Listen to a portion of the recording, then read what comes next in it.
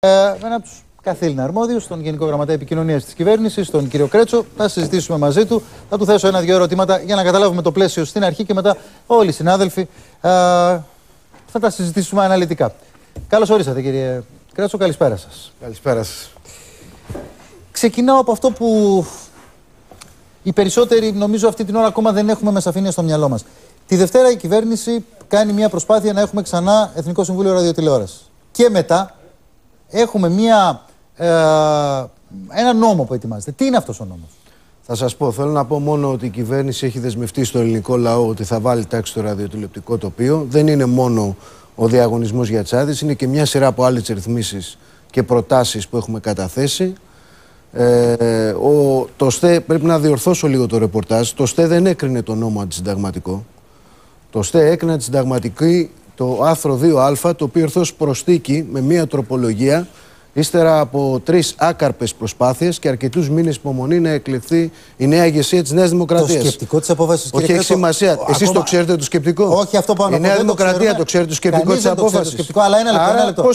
Πώ λέει ότι υπάρχει. Ε, αυτό το οποίο γνωρίζουμε είναι ότι το Συμβούλιο της Επικρατείας mm -hmm. βρήκε απολύτως αντισυνταγματικό το γεγονός ότι οι αρμοδιότητες για το διαγωνισμό δεν είναι στο Εθνικό Συμβούλιο Ραδιοτηλεόρασης όπως λέει το Σύνταγμα στο άρθρο 15 και είπε ο νόμος είναι απολύτως αντισυνταγματικός. Σταματώ κάθε άλλη εξέταση. Όχι, δεν είπε αυτό. Ούτε τον αριθμό των αδειών εξέτασε το 4, ούτε ό,τι άλλο. Διότι ε, αυτό είναι που ξέρουμε, θα περιμένουμε το σκεπτικό. Διότι το άρθρο 15 του Συντάγματος και έχει δύο φορές πάρει ανάλογη απόφαση το 2014 ναι. και το 2015 το ΣΤΕ, ναι. που λέει ότι μόνο το ΕΣΟΥΡΟΥ είναι αρμόδιο για να δώσει τις άδειες, να στερήσει τις άδειες, να ελέγξει το ραδιοτηλεοπτικό τοπίο. Ακούστε με λίγο. Ε, ο νόμος 4339, ο νόμος Παπά, είναι ο πιο φιλικός νόμος για το ΕΣΟΥΡΟΥ. Είναι ο νόμος που του έδωσε περισσότερες αρμοδιότητες και από τον 3592 και από τον 2644 και από τον 23. 28. Ακούστε με λίγο. Το Σύνταγμα λέει Μα, ότι. Δεν, δεν με αφήνει ναι, να μιλήσω. Είναι ο νόμος ο οποίος αφο αναφέρει το ΕΣΟΥΡΟΥ, του δίνει την αρμοδιότητα να, κάνει, να βγάλει την προκήρυξη, να κάνει το διαγωνισμό, να κάνει ανάκληση αδειών, να ελέξει τα δικαιολογητικά, να κάνει την προεπιλογή, να κάνει τα πάντα εκτός από δύο πράγματα.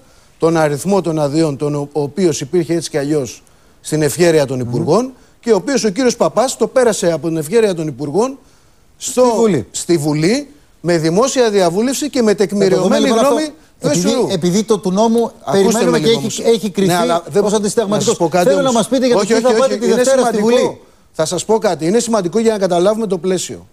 Λοιπόν, μετά από άκαρπες πρωτοβουλίες, επειδή η Νέα Δημοκρατία λειτουργήσε αντιθεσμικά, τορπίλησε δηλαδή τη διαδικασία συγκρότησης του ΕΣΟΥΡΟΥ και επειδή το κράτος πρέπει επιτέλους να κάνει και τη δουλειά του και η εκτελεστική εξουσία οφείλει και αυτή να κάνει τη δουλειά της, ήρθε μια τροπολογία η οποία ήρθε ως προσθήκη, το λεγόμενο άρθρο 2α, το οποίο το στέκρινα συνταγματικό και όλα βέβαια αυτά που Όσα συζητάμε. πηγάζουν από εκεί έχουν είναι, πια θεωρούντάκι. Όλα, όλα όμως τα οποία συζητάμε αυτή τη στιγμή αφορούν μια διαρροή.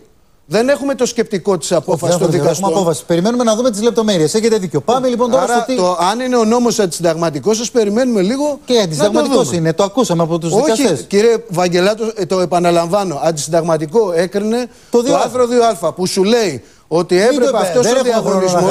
Όχι, μα είναι σημαντικό. Ναι, το είπατε όμως. Μα αυτός ο, ο νόμος προέβλεπε 8 διαφορετικών ειδών άδειες. Εκρίθη. Και εκρί... Αντισυνταγματικό και σταμάτησε. το άρθρο 2α, ναι. το οποίο λέει ότι για τις 4 άδειες των εθνικής εμβέλειας γενικού περιεχομένου. το επαναλαμβάνετε, το έχετε πει ήδη πολλές φορές. Και για μοναδική φορά θα τον έκανε η Γενική Γραμματεία Ενημέρωσης μετά την Πάω μεταφορά της αρμοδιότητας. Αυτό στο... έκρινε, δεν έκρινε τίποτα άλλο. Πάω στο ερώτημα. Τι νόμο πάτε τη Δευτέρα στη Βουλή ή την Τρίτη, Τετάρτη, όποτε τον πάτε; Εμείς ε, δείχνουμε μια ετοιμότητα, αλλά θα εξαντλήσουμε τα περιθώρια συνένεσης και ελπίζουμε αυτή τη φορά η Νέα Δημοκρατία και η υπόλοιπη αντιπολίτευση να είναι πιο, ας το πούμε, ε, θεσμικά, να λειτουργήσει πιο θεσμικά, να συγκροτήσουμε ένα εσουρού και να συζητήσουμε σοβαρά τι είδους εσουρού θέλουμε. Mm-hmm. Γιατί πραγματικά το εσουρού είναι πολύ σημαντικό.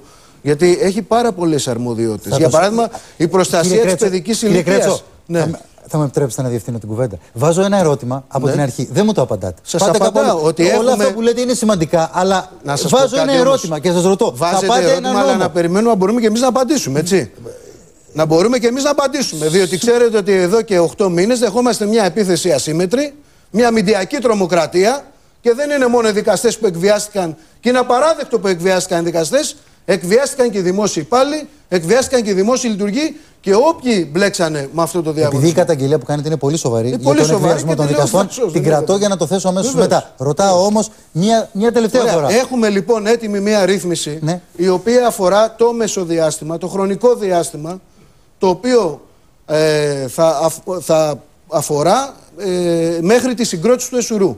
Δηλαδή, ακόμη και αν συμφωνήσουμε, που ελπίζω ότι αυτή τη φορά το πολιτικό σύστημα θα δείξει μια οριμότητα. Αν μη τι άλλο, έγινε σε ένα διαγωνισμός. Καταλάβαμε αρκετά. Πείτε μας τι λέει η τροπολογία. Μα, να σας πω κάτι ένα λεπτό, να απαντήσω όμως, ναι. έτσι. Λοιπόν, ακόμη και αν συμφωνήσουν στο ΕΣΟΥΡΟΥ όλα τα κόμματα επιτευχθεί αυτό που λέμε τα 4 πέμπτα. Την επόμενη μέρα τα κανάλια, όπως και το κανάλι το οποίο έχω την τιμή να με φιλοξενεί σήμερα, το οποίο όμως είναι παράνομο κύριε Βαγγελάδο, δεν έχει άδεια λειτουργίας. Κανένα δεν έτσι. έχει άδεια. Όπως κανένα κανάλι δεν έχει άδεια λειτουργίας. Πέρα από την ΕΡΤ, στην οποία την ΕΡΤ την Κακομήρα ήταν το μόνο κανάλι που τη ρίξαν ναι. μαύρο.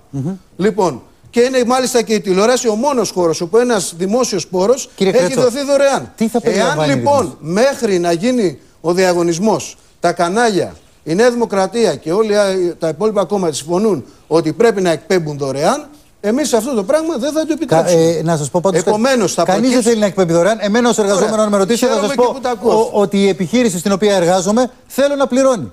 Ευχάριστο αυτό. Αλλά, αλλά δεν, δεν, η υποχρέωσή της είναι. Τι θα περιλαμβάνει. Εφόσον έχει, καταλαμβάνει, κατέχει. Τι θα δεν... περιλαμβάνει η ρύθμιση. Ο νόμος λοιπόν αυτός θα προβλέπει ότι θα υπάρχει ένα αντίτιμο mm -hmm.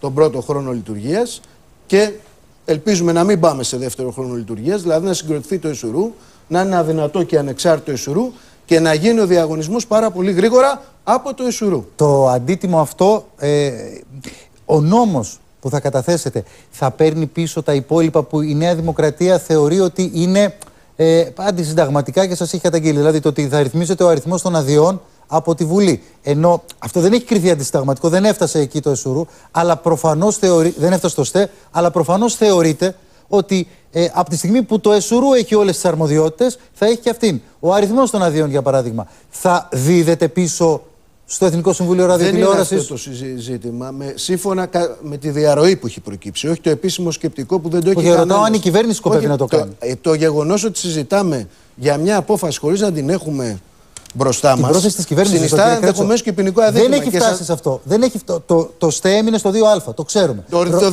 2α, κύριε Ευαγγελάτο, έλεγε ότι ο διαγωνισμός για αυτές τις τέσσερις άδειες εθνικού γενικού περιεχομένου επίγειας λήψης. Μην το επαναλάβουμε. Μα, λίγο, λίγο το χρόνο να. Διότι αυτός ο διαγωνισμό. Είναι η πέμπτη φορά που το λέτε όμως. Είχε 8 διαφορετικές άδειες και προέβλεπε τη μεταφορά της αρμοδιότητας. Αυτό που σας ρωτάω για μία είναι το μόνο φορά. Λέει, για πρώτη φορά εφαρμογή. Λέει η Νέα Δημοκρατία. Τις αρμοδιότητες αυτές που είχε το, το Εθνικό Συμβούλιο Ραδιοτηλεόραση. Δεν είχε αρμοδιότητες, κύριε Βαγγελάδο. Ανάμεσα στις οποίες και τον αριθμό των τηλεοπτικών αδειών να τις γυρίσουμε πίσω. Να διαβάσουμε λίγο τους νόμους, παρακαλώ πάρα πολύ. Ο πιο φιλικός νόμος για το ΕΣΟΥΡΟΥ ήταν ο νόμος του κυρίου Παπά δεν υπήρχαν αρμοδιότητες για τον αριθμό σε κανένα νομοθέτημα στο παρελθόν. Mm -hmm. Πώς θα γίνει; Και ο κύριος Παπάς πήγε ένα βήμα μπροστά. Αντί να το αποφασίσει μόνος του υπουργός, είπε μετά από δημόσια διαβούλευση και τεκμηριωμένη γνώμη του Εσουρού, ας τα αποφασίσει η Βουλή. Λοιπόν, αυτό είναι. να πείτε ότι είχε να πρόβλημα και, η Νέα Δημοκρατία και με την ενίσχυση του Εσουρού. Και με την ενίσχυση του Εσουρού και πρόβλημα δηλαδή. Η Δημοκρατία εδώ και ένα χρόνο, διότι αυτός ο νόμος έχει ξεκινήσει από τις 22 Ιουλίου του 2015, κύριε Βαγγελάτο, που βγήκε σε δημόσια διαβούλευση, το μόνο το οποίο λέει για την τηλεόραση και τον κλάδο και τους εργαζόμενους, θα πάρουμε πίσω τον νόμο Παπά, όμως αυτός γιατί νόμος... είναι συνταγματικό. Δεν έχω ακούσει μια πρόταση δύο, δύο ούτε για τα διαφημιστικά, δεν ούτε για την εξήγηση. Δεν μένω ότι θα περιλαμβάνει ο νόμος και ότι το ρώτησα πολλές φορές. Δεν παίρνω απάντηση. Είπατε για ένα τίμημα και σωστά θα βάλετε τίμημα. Ναι. Εγώ πολλωστή φορά θα πω ότι πρέπει να υπάρχει. Πόσο θα είναι αυτό το τίμημα; Αυτό είναι κάτι το οποίο δεν έχει προσδιοριστεί ακόμη. Οφείλω όμως να σας πω ότι έχουμε ήδη ένα μέτρο σύγκρισης από το διαγωνισμό, ο οποίος ακυρώθηκε. Αυτό όντως έχει ακυρωθεί ο διαγωνισμός από το ΣΤΕ με βάση mm -hmm. βέβαια τι τις διαρροές, γιατί το 14-11 κανείς δεν μπορεί Α, να 5 το 5 εκατομμύρια, 6 εκατομμύρια το χρόνο, 7 Εμείς κάπου εκεί θα είναι. Με αυτό δηλαδή. το διαγωνισμό προβλέπονταν έσοδα στο ελληνικό δημόσιο της τάξης των 25 εκατομμυρίων κάθε χρόνο. Mm -hmm. Βέβαια, το γεγονός είναι ότι θα μπορούσε να εισπράξεις γύρω στα 258 εκατομμύρια μέσα σε δύο χρόνια. Αυτό δεν ξέρω αν θα μπορεί να επιτευχθεί άμεσα και Άρα εύκολα. το ποσό Αλλά πόσο το 25 εκατομμύρια είναι ένα μέτρο σύγκρισης το οποίο νομίζω είτε εμείς είτε το ΕΣΟΥΡΟΥ είτε ελπίζω το ΕΣΟΥΡΟΥ. Έτσι. Εγώ ελπίζω ότι αυτή τη φορά το, το πολιτικό Αυτός θα πάρει Ένα λεπτό, Αμαλία, για να, να ξεκαθαρίσουμε και κάτι άλλο. Άρα θα διεκδικήσετε από όσους εκπέμπουν το χρόνο περίπου 25 εκατομμύρια. Ερώτημα επόμενο. Πόσοι θα μπορούν να έχουν αυτή την προσωρινή άδεια; Είναι τα κανάλια που σήμερα εκπέμπουν; Ναι. Είναι αυτοί οι οποίοι συμμετείχαν στο διαγωνισμό και ε, έγιναν υπερθεματιστές; Είναι και όποιος άλλος θέλει. Σύμφωνα με την προχθεσινή απόφαση του ΣΤΕ, άδεια πλέον θα δίνει μόνο το ΕΣΟΡΟΥ. Εμείς αυτό το οποίο θα προτείνουμε ως νομοθετική πρωτοβουλία είναι μια βεβαίωση προσωρινής λειτουργίας. Προς ποιον, ποιος θα μπορεί να την θα πάρει. Θα μπορεί να την πάρουν και τα κανάλια που λειτουργούν και όσοι υπερθεμάτισαν κατά τη διάρκεια της ε, πλειοδοσίας για τις Δεν φοβάστε ότι αν βάλετε και τους υπερθεματιστές θα ξανακηρυχθεί ο νόμος αυτός αντισυνταγματικός; Γιατί επειδή ο διαγωνισμός ακυρώθηκε, επειδή ναι. προέρχεται από τον νόμο ο οποίος ε, κρίθη αντισυνταγματικός, δεν μπορεί να έχει ένομο αποτέλεσμα. Εδώ, λένε νομικοί. Ναι. Οι νομικοί τι λένε, ότι πρέπει να λειτουργούν ε, παρανόμως τα κανάλια και να μην εισπράττει το, το, το, ΣΤΕ λέει; Μην μου απαντάτε με ερώτημα, ρωτάω εσείς τι λέτε. Κύριε Ευαγγελάτο, η απόφαση 3578 του 2010 του ΣΤΕ έλεγε ότι δεν μπορούν να ανέμονται τις ραδιοτηλεοπτικές συχνότητες δωρεάν και ότι δεν είναι συνταγματικός Αυτό το ξεκαθαρίσαμε, μας είπατε και το ποσό. ύπαρξη αδειοδότησης. Μας είπατε και το ποσό. Πάω Σας στο λέω ότι λέει το ΣΤΕ. Λέω, ακούστε, κύριε Κρέτσο, ε, Εμείς εδώ, ως επαγγελματίες δημοσιογράφοι, θέλουμε ναι. να υπάρχουν όχι 7 κανάλια που εκπέμπουν σήμερα, 17, 27. Δουλειές θέλουμε να έχουμε. Άρα, όσο περισσότερα μας πείτε, κανάλια τόσο θα χαρούμε. Αλλά ρωτάω τώρα νομικά. Ακούω τους επιστήμονες και λένε ότι εάν στο νόμο μπουν και οι νέοι υπερθεματιστές, ναι. υπάρχει θέμα διότι αυτοί έχουν προκύψει από τον νόμο που εκρήθη αντισυνταγματικό, άρα μπορεί και ο νέος νόμος να κρυθεί αντισυνταγματικό. Άρα μου λέτε ότι όλο αυτό τον καιρό που δεχόμασταν μια κριτική ότι υποτίθεται κλείνουμε την αγορά, Πρέπει να, τώρα να την κλείσουμε και να μην δώσουμε, να παραμείνει το επάγγελμα του ρωτάω, εσείς μου απαντάτε με ερώτημα. Εγώ και σας είπα ότι αν με ρωτάτε εμένα, ναι. να βάλετε και τους καινούργιους υπερθεματιστέ και αυτούς που και άλλους τόσους και όποιον ναι. άλλο βρείτε. Εγώ νομίζω ότι υπάρχει αρχή της ισότιμης μεταχείρισης. Δεν μπορεί το επάγγελμα του καναλάρχη να παραμένει κλειστό και επομένως έχουν δικαίωμα, πρέπει να έχουν δικαίωμα στη βάση αυτής της ισότιμης μεταχείρισης να συμμετέχουν και να μπορούν να διεκδικήσουν μια βεβαίωση. Πόσος είναι ο μέγιστος αριθμός. Εδώ, εδώ προκύπτουν ερωτήματα. Ο μέγιστος αριθμός πόσος είναι, δηλαδή αν εμφανιστούν 15. Μ' αρέσει που με ρωτάτε αυτό, διότι τον προηγούμενο χρονικό διάστημα η Νέα Δημοκρατία μας έλεγε ότι το φάσμα είναι απεριόριστο. Ή τέλος πάντων χωράνε τουλάχιστον 16 HD κανάλια. Ναι. Να δούμε πόσοι θα έρθουν και να δούμε πόσα χωράει το φάσμα. Εσείς ξέρετε πόσα χωράνε; Ναι. Πόσο; Εγώ νομίζω με βάση. Με, όχι νομίζω. Οι, βάσεις, οι μετρήσεις της ΕΕΤ, οι επίσημες, μας δείχνουν διότι η DJ έχει παραβιάσει το παράρτημα Δ και Ε όσον αφορά τις τιμικέ παραμέτρους. Χωράνε το πολύ 6 με 7 HD κανάλια στη χώρα. 6 με 7 ναι. χωράνε ήδη. Όχι όμως 4. Όχι 4 πάντω που 4, έλεγε. Αλλά θα υπήρχαν και άλλες επειδή, επειδή, επειδή έγινε μια έρευνα από το Ινστιτούτο της Φλωρεντίας, το 4 λοιπόν δεν υπάρχει. Όχι, 6-7. Το Ινστιτούτο της Φλωρεντίας έβαλε πολύ σοβαρές υποθέσεις για τη δημόσια πολιτική όσον αφορά τις τηλεπικοινωνίες. Μίλησε για το δεύτερο με ψηφιακό μέρισμα, το οποίο ελπίζω και η Νέα Δημοκρατία να συνενέσει μαζί μας ότι θα είναι έγκλημα εάν δεν δώσουμε το δεύτερο ψηφιακό μέρισμα πριν το 2019. Είναι, λόγος είναι πράγματα που δεν τα συζητήσαμε ε, ποτέ. Εγώ, δύο γρήγορες ερωτήσεις θα ήθελα και θα τις απαντήσω και όλοι, Πρώτον, μιλάτε για το Εθνικό Ραδιοτηλεοπτικό Συμβούλιο. Εσείς όμως το διαλύσατε. Γιατί το διαλύσατε; Εμείς διαλύσαμε το Εθνικό Ραδιοτηλεοπτικό Συμβούλιο που πήγαμε τρεις φορές και τέσσερις για να το συγκροτήσουμε. Για τη, για τη μητέρα της κυρίας Κωνσταντοπούλα, αν θυμάμαι καλά, ναι. η διάλυση αυτό. Και η δεύτερη ερώτηση για να τοποθετηθείτε για να μην σας διακόπτω. Εντάξει. Διαβάζω 20 Φεβρουαρίου 2016. Δήλωση του κυρίου Μαργαρίτη Σινά είναι ο εκπρόσωπος τύπου του κυρίου Γιούγκερ. Μνημονιακή υποχρέωση τα έσοδα του διαγωνισμού και τις τηλεοπτικές άδειες. Μιλήσατε για ρηφιφή σήμερα σε δήλωσή σας. Ότι δηλαδή δεν θα πάνε στα άπορα παιδιά, στους νοσηλεύτε κτλ. Μα εδώ υπάρχει επίσημη δήλωση της Ευρωπαϊκής Ένωσης, της Κομισιόν, ότι αυτά τα λεφτά θα είναι μνημονιακή υποχρέωση. Ωραία, πάμε, πάμε για Να απαντήσω λίγο. Ναι. Λοιπόν, πρώτα απ' όλα αυτά τα χρήματα του διαγωνισμού δεν είχαν καταλογιστεί, δεν είχαν χρεωθεί στο προσχέδιο του προπολογισμού που αφορά και τη μαύρη τρύπα του χρέους. Άρα ε, δεν πηγαίνανε για να εξυπηρετήσουν το χρέος, αλλά για άλλου είδους κοινωνικές ανάγκες. Δεν θέλω να λαϊκίσω σε αυτό. Δεν σώνεται ο κόσμος με τα 258 εκατομμύρια που μαζέψαμε. Όμως ήταν χρήματα τα οποία προέκυψαν από όσους ηθελημένα οικειοθελώς ήρθαν να επενδύσουν στον χώρο της τηλεόρασης και τα εμείς θέλαμε να τα βάλουμε σε προτεραιότητες που αφορούν την κοινωνική πολιτική και αυτούς που το έχουν πολύ μεγάλη ανάγκη. Νομίζω όλοι μπορούμε να συμφωνήσουμε. Κύριε Κρέτσο, και καλά θα κάνετε να τα πάρετε από περισσότερου. Ο κύριος Μαρκόπουλος, επειδή είναι σημαντική ερώτηση. Και όχι απολύτως. Θέλω να απαντήσω ότι εμείς είχαμε γνωμοδότηση από το νομικό συμβούλιο του κράτους που μας έλεγε ότι έλυγε αυτοδικαίως η ε, θητεία πέντε μελών του, του ΕΣΟΡΟΥ. Και επομένως δεν θα μπορούσε να γίνει κανένα είδους διαγωνιστική διαδικασία. Το Επιστημονικό Συμβούλιο της Βουλής δεν είπε ότι έστω και με τα τέσσερα μέλη του Εθνικού Συμβουλίου Ραδιοτηλεόρασης μπορεί να, να λειτουργήσει. Όχι, δεν μπορεί να λειτουργήσει. Έτσι είπε το Επιστημονικό Συμβούλιο. Την άποψη σας τη δέχομαι. Ωραία, εμείς θα σας στείλουμε και τη γνωμοδότηση του Νομικού Συμβουλίου του κράτους και πρέπει να συζητήσουμε και το γεγονός γιατί το Σύνταγμα μιλάει για θητεία σε όσους είναι μέλη του ΕΣΟΥΡΟΥ. Το γεγονός ότι μιλάει για θητεία η οποία είναι ορισμένη έχει κάποια πολύ μεγάλη αξία. Συμφωνούμε, κύριε Κρέτσο. Ναι, αλλά σέβεστε το Νομικό Συμβούλιο του κράτους και δεν σέβεστε το ΣΤΕ. Πάμε στην Αμαλία. Γιατί δεν σεβόμαστε το ΣΤΕ, κύριε Σας είδα ότι κάνατε μια επίθεση. Δημήτρη, Δημήτρη ένα-ένα για να προλάβουμε όλοι να ρωτήσουμε. Δεν μπορούμε να έχουμε άποψη για το ΣΤΕ, για τις αποφάσεις μάλλον των δικαστηρίων. Η εκτελεστική εξουσία δεν έχει το δικαίωμα να έχει αποφάσεις ε, για τα δικαστήρια, ιδιαίτερα όταν αφορούν ε, ε, αποφάσεις οι οποίες βλάπτουν αλλά το σύνολο του ελληνικού λαού και δεν δίνουν λύση. Δημήτρη, τι λύση πάμε, έδωσε η απόφαση Πάμε στην Αμαλία. Έλα, Αμαλία, για να, να πάρει λόγο και ο ε, Σας κατηγορούν ότι πήγατε να φτιάξετε με το νέο νόμο και με τα τέσσερα κανάλια μια νέα διαπλοκή και ότι δεν σας βγήκε το στοίχημα και μήπως το έχετε μετανιώσει όλο αυτό. Δηλαδή, αν σας ε, γυρίζαμε τον χρόνο πίσω, θα την ξανακάνετε αυτή τη διαδικασία. Γιατί ο διαγωνισμό δεν έχει πει κανείς κουβέντα. Ήταν ένα αδιάβλητο διαγωνισμός. Τι θα αλλάζετε, μάλλον; Ε, αν ναι, εγώ το, το πάω. Ε, στοχοποιηθήκατε κι εσείς και ο Υπουργός Επικρατείας. Θα το αλλάζετε, θα το ξανακάνατε. Βγήκατε μπροστά, σας κατηγόρησαν. Ε, ποια είναι τώρα η δικιά σας άποψη και μπορεί να προχωρήσει όλο αυτό; Η δική μου άποψη είναι ότι αυτός ο διαγωνισμός ε, ήταν ένας διαγωνισμός πρότυπο ε, ήταν ένας διαγωνισμός ο οποίος είχε άξονα την επίτευξη του μέγιστου δυνατού ε, του, δημοσίου συμφέροντος. Νομίζω τα καταφέραμε. Ήταν ένας απόλυτα καθαρός διαγωνισμός. Ε, ήταν ένας διαγωνισμός ο οποίος προσέλκυσε επενδυτές στον χώρο της τηλεόρασης και έλυνε και έκλεινε αυτό το αφήγημα της αεροπειρατείας το οποίο υπήρχε τα τελευταία 27 χρόνια και το οποίο μεγενθήθηκε με αυτή την αδράνεια και την ε, ενδεχόμενη και διαπλοκή και απιστία σε βάρος του δημοσίου που έκανε προηγούμενες ηγεσίες, κυρίως όσον αφορά το σκάνδαλο με την Τιτζέα, όπου είχαμε ένα διαγωνισμό που δεν υπήρχε κανένα είδους υποχρέωση και για τα δικαιολογητικά και για τα Θα κάτι όμως αυτό, που αυτό που δεν περιμέναμε ήταν ότι οι υπερθεματιστές και όλοι οι άνθρωποι οι οποίοι συμμετείχαν ε, στη διαγωνιστική διαδικασία, ότι η διαγωνιστική διαδικασία θα διαρκούσε τόσο πολύ. Δηλαδή, όντως, τι τελευταίες ώρες πρέπει να ήταν αρκετά ε, δύσκολες, ε, γιατί όντως. Ε, ο Πρωθυπουργός δεν περιμένει ε, πάμε, πάμε στον Ανδρέα, παρακαλώ πολύ, γιατί έχω μετά. Πολύ σύντομη ερώτηση. Ναι.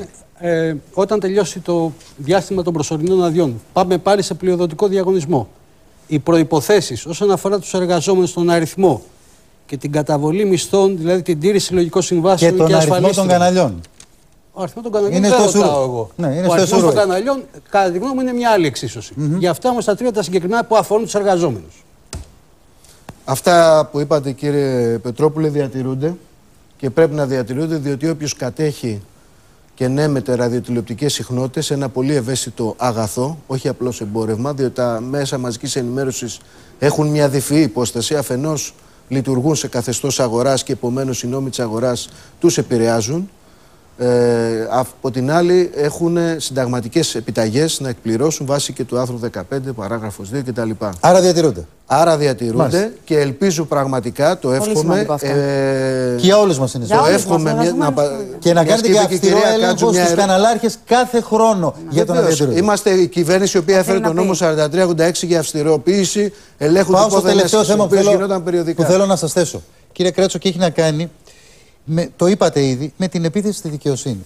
Ομολογώ ότι σταχυολογώντας αυτά που σήμερα έχετε πει και έχετε γράψει, βλέπω μια ολομέτωπη επίθεση στη δικαιοσύνη. Θυμίζω, είπατε το πρωί μιλώντας στη δημόσια τηλεόραση, ότι έγινε ρηφηφή, ότι η απόφαση του ΣΤΕ αποτελεί ενός είδους ρηφηφή, όπου τα χρήματα, χρήματα με έναν αντισυνταγματικό νόμο, Μπορεί κάποιος να πει ότι μπορεί να σου πάρουν και το σπίτι για να δώσουν τα χρήματα στους φτωχούς. Αν αυτό είναι αντισυνταγματικό, δεν σημαίνει ότι θα δώσεις χρήματα στους φτωχούς επειδή θα σου πάρουν το σπίτι. Κοινωνικό κράτος πρέπει να βρεθεί. Ρηφηφή λοιπόν η απόφαση του ΣΤΕ.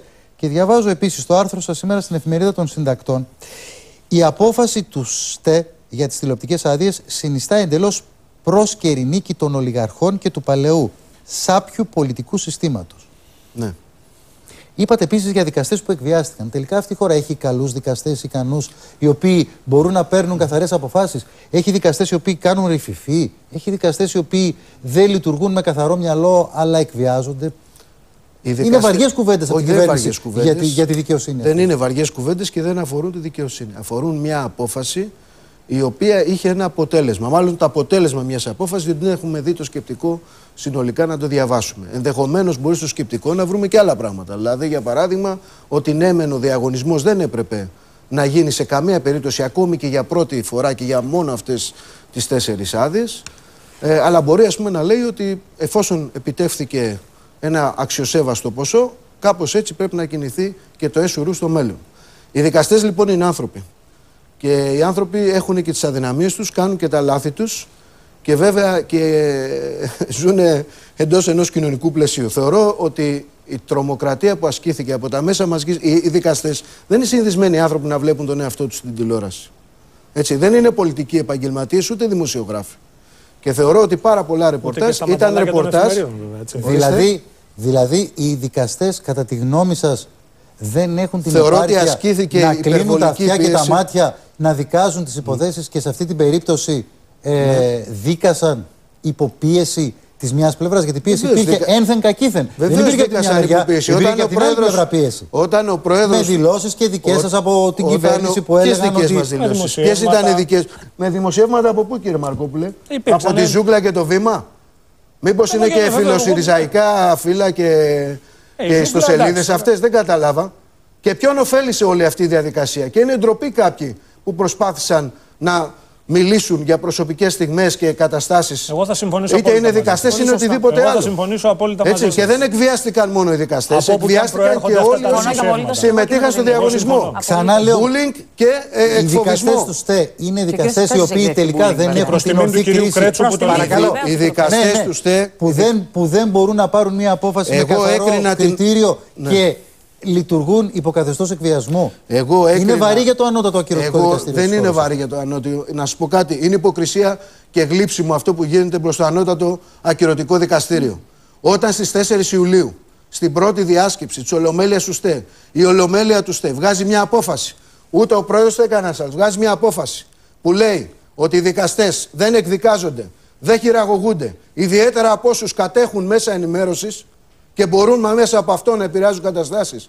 Και περνάνε όλο το καλοκαίρι και μέχρι προχθές ασκούνται ε, μια ασύμετρη επίθεση και στο διαγωνισμό. Και όσους ενδεχομένως μπορούν να συμφωνήσουν με το ότι ο διαγωνισμός αποτελεί συνταγματική επιταγή και υποχρέωση, τότε για ποιο πράγμα μιλάμε. Λοιπόν, Έτσι, και θέλω επίσης να σας πω απ' την άλλη και να κλείσουμε ε, ναι. ότι και οι δικαστές δεν είναι υπεράνω κριτικής, όπως δεν είναι υπεράνω κριτικής κανένας μας. Και εμείς και εσείς, οι δημοσιογράφοι. Για κριτική, μιλάμε για την επίθεση. Αντρέα, πρέπει να κλείσουμε γιατί. Το σουρού. Με, με την κατάσταση που υπήρχε στα κανάλια το τελευταίο δίμηνο, τι πιστεύετε έπρεπε να γίνει; Εάν λειτουργούσε το ΕΣΟΥΡΟΥ με, με την κατάσταση που επικρατούσε κυρίως όσον αφορά την παρουσίαση δελτίων οι οποία είχαν γίνει μονοθεματικά, τότε θα είχαμε τεράστια πρόστιμα προς όλους σχεδόν Πάλι τους ιδιωτικούς τηλεοπτικούς σταθμούς. Πάλι παρεμβαίνει δηλαδή. Κλείνουμε. Κύριε Κρέτσο, το άρθρο 15 παράγραφος 2. Παρακαλώ πολύ. Άρθρο 15. Να δούμε τον κύριο Κρέτσο. Άρθρο 15 παράγραφος 2. Πείτε μου αν μιλάει για ίση μετάδοση πληροφοριών, Ακριβώς. για πλουραλισμό και πολυφωνία. Λοιπόν, και πείτε μου αν τηρήθηκε όλο αυτό το χρονικό διάστημα. Σας ευχαριστώ πολύ. το τίμημα φαντάζομαι θα καταβάλλετε με μηνιαίο τρόπο και λοιπά. Θα τα δούμε στον νόμο τον οποίο θα έχετε. Θα σας ευχαριστήσουμε πολύ. Ήταν μια ανοιχτή κουβέντα με όλα τα ερωτήματα στο τραπέζι και οφείλω να το, να το πω και να το σημειώσω.